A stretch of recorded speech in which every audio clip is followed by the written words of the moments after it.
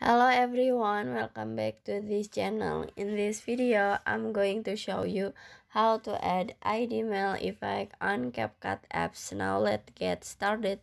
First, after you open your CapCut apps, you just click on the photo that you want to edit, this one. And after this, in here you just click on the style and swipe until you can see ID Male effect so you just click on it.